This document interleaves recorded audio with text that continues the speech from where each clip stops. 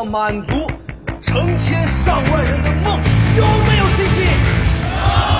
我就是那个买你假茶壶的傻子。把我捞你的了，收了东西就得给我翻身。啊啊啊！再啊！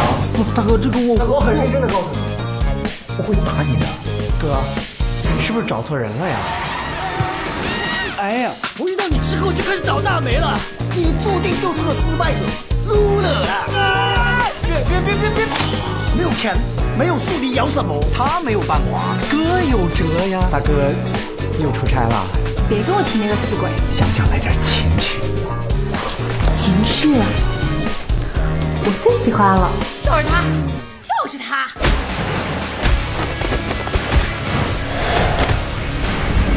你知道为什么我们的化妆品价钱可以这么低吗？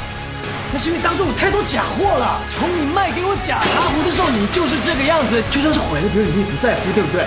这个社会没有钱是真不行，我不想再像原来那么活着了。